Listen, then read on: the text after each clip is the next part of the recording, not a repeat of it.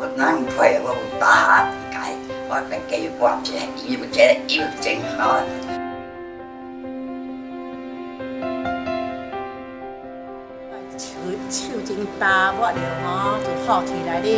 我们建议用这个鸸鹋外用在这个涂在上面，用三四次，这个鸸鹋能让它的这个皮肤滋润，而且这个鸸鹋油它本身没有这个化学的成分。